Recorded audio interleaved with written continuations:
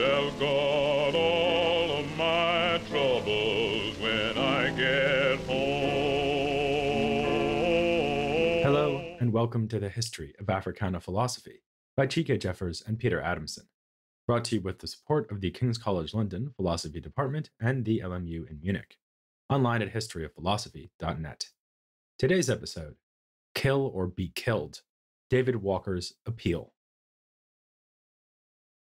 When you're writing and you want to indicate emphasis, you can use underlining or boldface characters, but to really lay it on thick, there's nothing like an exclamation point. Depending on how strongly you feel, you might even decide that one exclamation point is not enough. Judging from social media, three of them would seem to be a popular choice. For David Walker, though, three exclamation points counted as an understatement.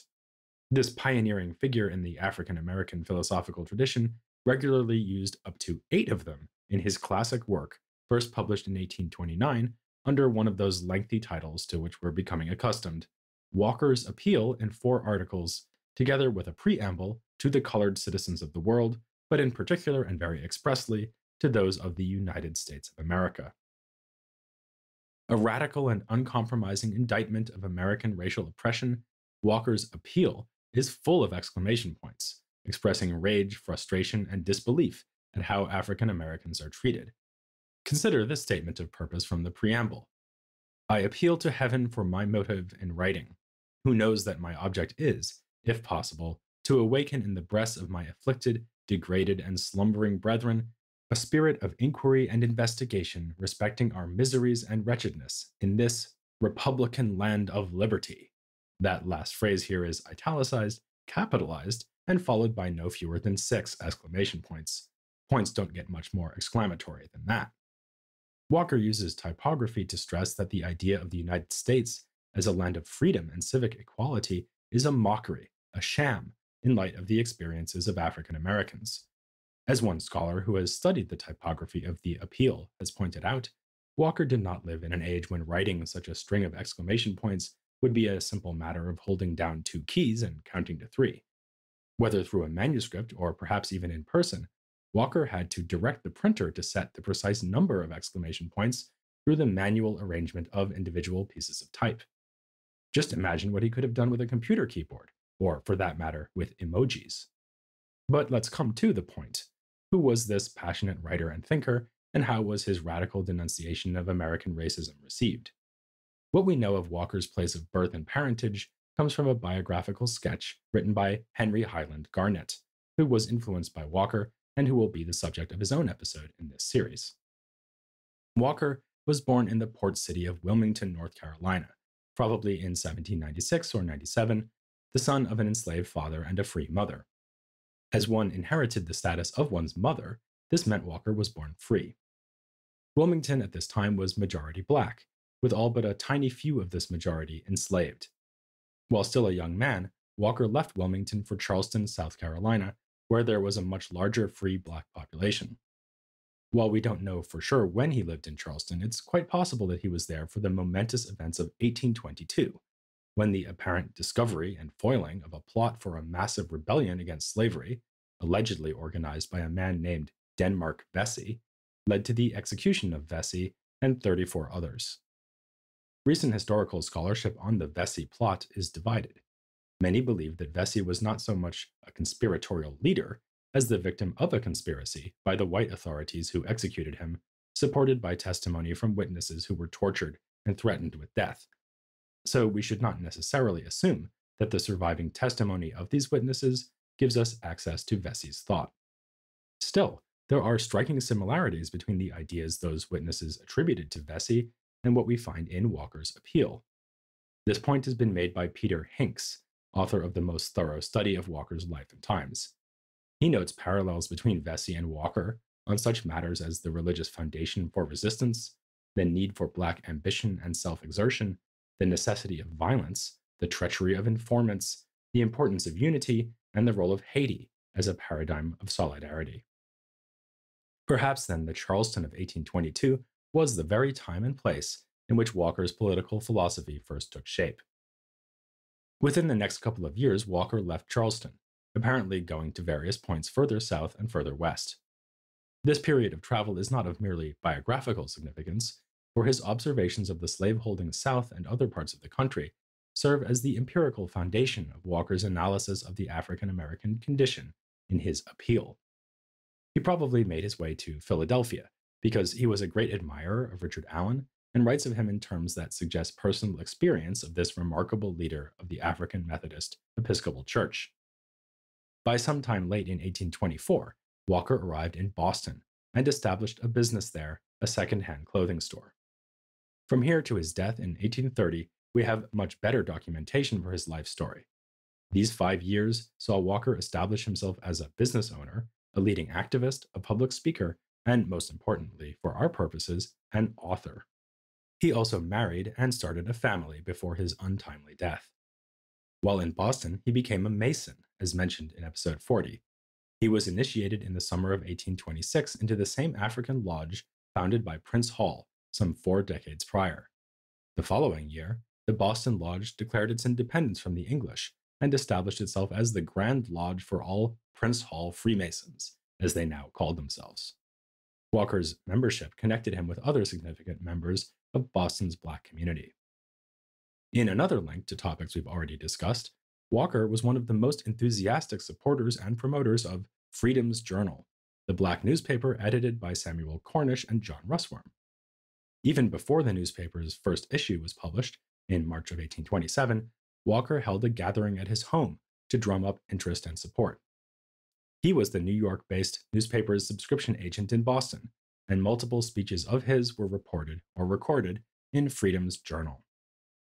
Most prominent among these was a December 1828 speech, which brings us to his involvement in the founding of the Massachusetts General Colored Association, a pioneering civil rights organization.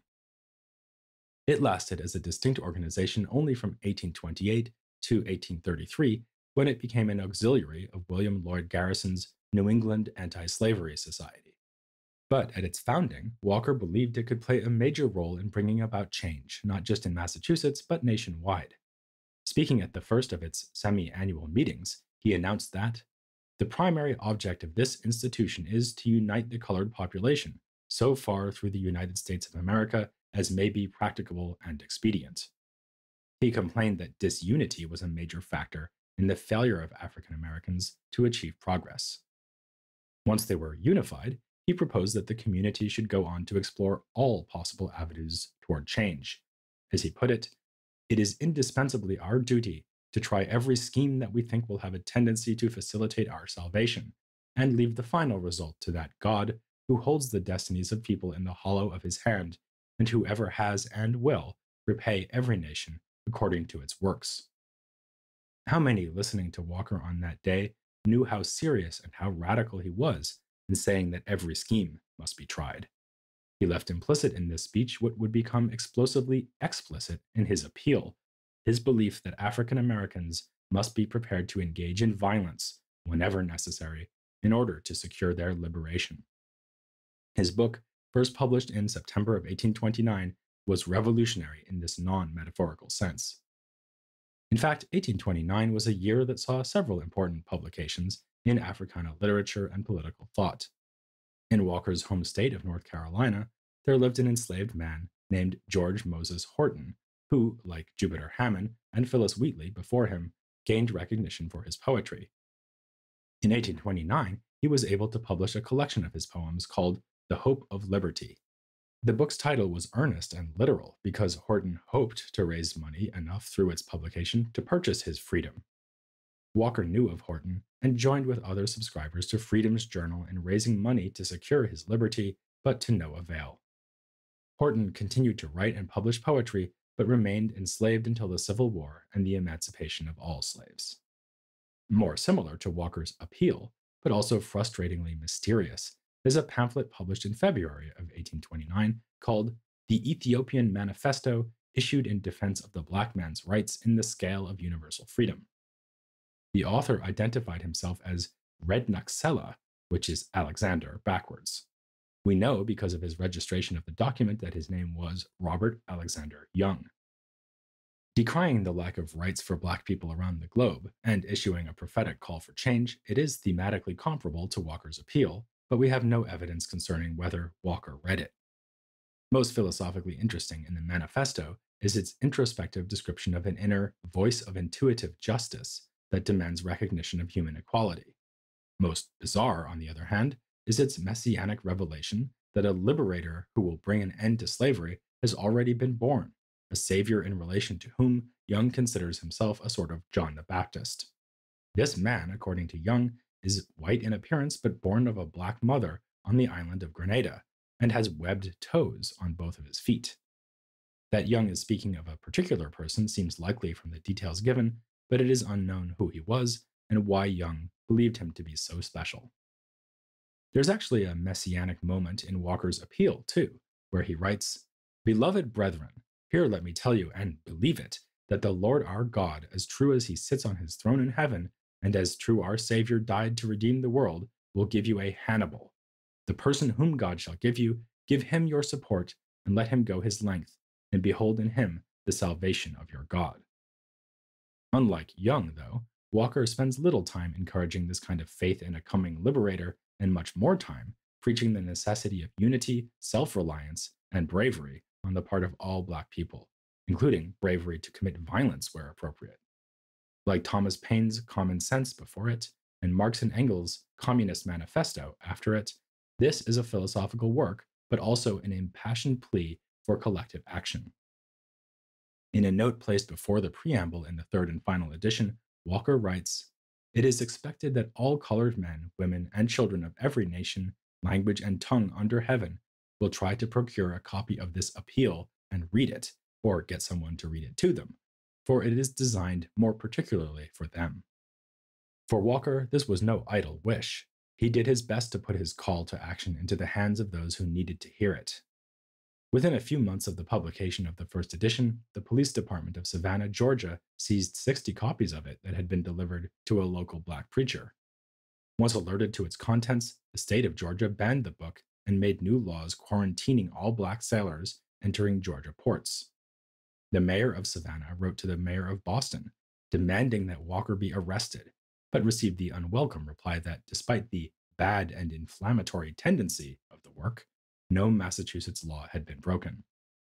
We also know of copies sent to Virginia, North Carolina, South Carolina, and Louisiana, because in all these places arrests were made and further legal action was taken to contain it. The laws passed were harsh. For example, the law against literature that might incite Black unrest in Louisiana made distribution of Walker's book punishable by death. It is unknown how many incidents of slave rebellion, planned or executed, can be connected to the circulation of the appeal, but some at that time certainly believed Walker to have been the inspiration for an attempt in North Carolina in 1830. Sixty slaves gathered in a swamp and armed themselves, but a local militia got to them, and all were killed. The most famous slave revolt in U.S. history happened in 1831 in Virginia, led by a Baptist preacher named Nat Turner. It has been irresistible for scholars to speculate on the possible influence of Walker on Turner's uprising, but there is no hard evidence allowing us to draw that connection. But let's turn away from the hysteria surrounding the book's publication to what the book itself has to say. Perhaps the best way to understand its structure and organizing theme is to put aside its most controversial element, its advocacy of violent resistance, and focus instead on Walker's engagement with Thomas Jefferson, whom he praises in extravagant terms a much greater philosopher the world never afforded. There is characteristic bombast here, no doubt, but not sarcasm. His criticism of Jefferson is, in fact, all the more poignant given his recognition of Jefferson as brilliant, a vast repository of knowledge, and a political thinker capable of writing such a document as the Declaration of Independence. Yet this same man was responsible for the repugnant remarks on the natural inferiority of Black people in Query 14 of his Notes on the State of Virginia, remarks that we discussed in some detail in episode 35. As a symbol of the mind warping power of American racism, it is telling that the otherwise brilliant Jefferson's thoughts on Black people are so ridiculous. Walker writes Has Mr. Jefferson declared to the world that we are inferior to the whites, both in the endowments of our bodies and of minds? It is indeed surprising that a man of such great learning combined with such excellent natural parts, should speak so of a set of men in chains. I know not what to compare it to, unless, like putting one wild deer in an iron cage where it will be secured, and hold another by the side of the same, then let it go, and expect the one in the cage to run as fast as the one at liberty. The obvious inadequacy of Jefferson's analysis illustrates how white Americans resort to the flimsiest of reasonings to justify the domination of black Americans. In one memorable passage, though, Walker states that his aim is to solicit each of my brethren who has the spirit of a man to buy a copy of Mr. Jefferson's Notes on Virginia and put it in the hand of his son. Why? He explains that some white writers have opposed Jefferson's comments about black people, but this is insufficient. 4. Let no one of us suppose that the refutations which have been written by our white friends are enough. They are whites, we are blacks. We and the world wish to see the charges of Mr. Jefferson refuted by the blacks themselves according to their chance. For we must remember that what the whites have written respecting this subject is other men's labors and did not emanate from the blacks. Later, he puts the point even more forcefully unless we try to refute Mr. Jefferson's arguments respecting us, we will only establish them. Walker here exploits Jefferson's racism as a challenge to African Americans, a means of goading them towards accomplishments that will distinguish them, so as to prove the hollowness of Jefferson's claims about natural inferiority. But why is this necessary if the flimsiness of Jefferson's argument is so obvious? Why take time disproving claims that are ridiculous on their face? Is Walker trying to have it both ways? One way to resolve the contradiction is to see Walker as encouraging simultaneous awareness of two different perspectives. On the one hand, there is an impartial perspective, from which it is obvious that Black people are not inferior in the way that Jefferson suggests. This perspective is useful to buttress a sense of self worth among Blacks. On the other hand, one should not underestimate how widespread and entrenched are derogatory perspectives on Black people to the extent that even the brilliant Jefferson took their natural inferiority as a completely reasonable possibility worth investigating rather than seeing it for the preposterous bigotry it is. The culminating point of Jefferson's discussion of Black inferiority is his claim that the study of slavery in ancient times helps prove that it is not the social condition of slavery, but something more inherent that makes Black people inferior. We know, he says, that among the Romans, about the Augustan age especially, the condition of their slaves was much more deplorable than that of the blacks on the continent of America. After compiling evidence for this claim, Jefferson draws a conclusion. Notwithstanding these and other discouraging circumstances among the Romans, their slaves were often their rarest artists. They excelled too in science, insomuch as to be usually employed as tutors to their masters' children. Epictetus, Terence, and Phaedrus were slaves, but they were of the race of whites, it is not their condition, then, but nature, which has produced the distinction. Once one has noticed the various functions Jefferson serves in Walker's argument, it becomes more obvious that the book is structured around this very point. He needs to prove that it is indeed the vicious treatment of slaves in America that explains their condition. The preamble begins with a sort of thesis statement for the book as a whole. Having traveled over a considerable portion of these United States, and having in the course of my travels taken the most accurate observations of things as they exist, the result of my observations has warranted the full and unshaken conviction that we, colored people of these United States, are the most degraded, wretched, and abject set of beings that ever lived since the world began. And I pray God that none like us may ever live again until time shall be no more. After the preamble, the appeal is divided into four sections or chapters that Walker refers to in imitation of the Constitution as articles. Each article reinforces the thesis by exploring a different dimension of the wretchedness characterizing the situation of African Americans. Article 1 is entitled Our Wretchedness in Consequence of Slavery. It is here that Walker responds most directly to Jefferson's comparative argument, making his own comparisons between African Americans and ancient peoples who were enslaved, such as the Hebrews in Egypt, the Helots of Sparta, and of course the slaves of the Romans. Article 2, Our Wretchedness in Consequence of Ignorance, does deal with ignorance in the sense of a lack of knowledge, as when Walker complains of widespread ignorance of English grammar. More central, though, is a thoroughly moralized notion of ignorance, associating it with servility and a failure to value the humanity of one's fellow Black people. Article 3 is our wretchedness in consequence of the preachers of the religion of Jesus Christ. And as one might imagine, it discusses white Christian hypocrisy. Finally, in Article 4, Our Wretchedness in Consequence of the Colonizing Plan, Walker rails against the American Colonization Society and strongly opposes the emigration of African Americans to Liberia. The fact that Article 4 is by far the longest of the four articles is a reminder of what a central concern and matter of controversy this was at the time. Articles 1 and 2, however, are where we find Walker's thoughts on violence. From the first to the third edition of the Appeal, he became more and more outspoken on this topic. In the first edition, we find him saying, Remember that unless you are united, keeping your tongues within your teeth, you will be afraid to trust your secrets to each other and thus perpetuate our miseries under the Christians. And by the way, Christians is italicized, but gets only five exclamation points. The casual reader might find this claim a bit vague. What are these secrets, and what does keeping them have to do with the perpetuation of miseries? In the second edition, he clarifies that he means secret plans for violent resistance. He endorses this form of resistance without reservation, proclaiming it to be divinely sanctioned, although he is also careful to warn that it must only be used when the timing is just right. Remember, he says, also to lay humble at the feet of our Lord and Master Jesus Christ with prayers and fastings. Let our enemies go on with their butcheries and at once fill up their cup Never make an attempt to gain our freedom of natural right from under our cruel oppressors and murderers until you see your way clear. When that hour arrives and you move, be not afraid or dismayed, for be you assured that Jesus Christ, the King of heaven and of earth, who is the God of justice and of armies, will surely go before you. Many find the ethics of violence to be the most philosophically challenging aspect of the appeal.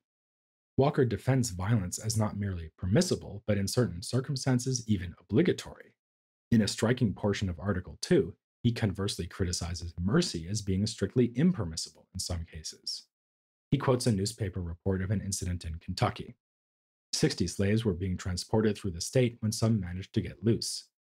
They attacked the three white men transporting them, killing two and leaving a third for dead, a man named Gordon.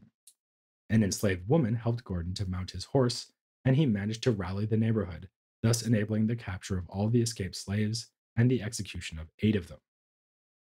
Walker minces no words in expressing his utter disgust at the behavior of the woman who held Gordon. To the excuse that it was her natural fine feelings that motivated her to help him, Walker replies, But I declare, the actions of this black woman are really insupportable.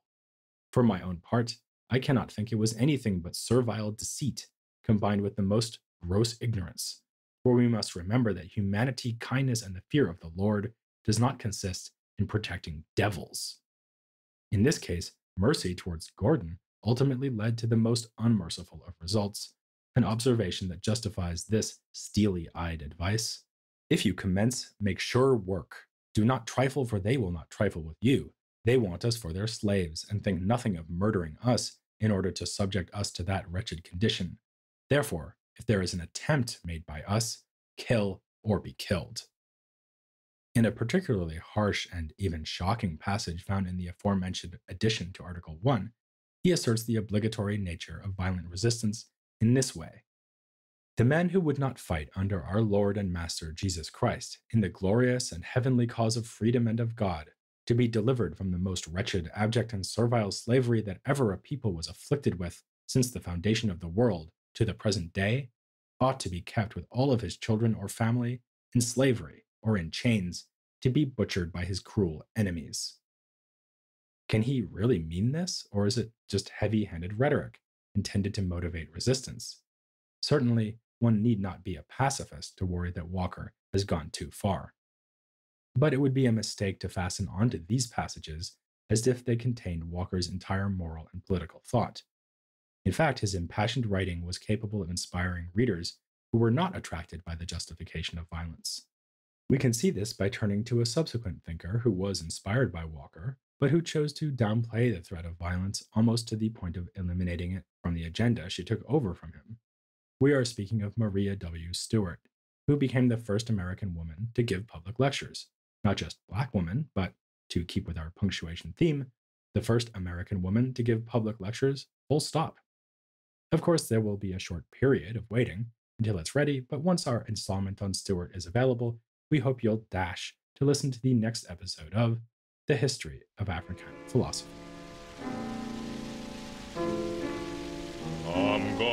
gonna tell God all of my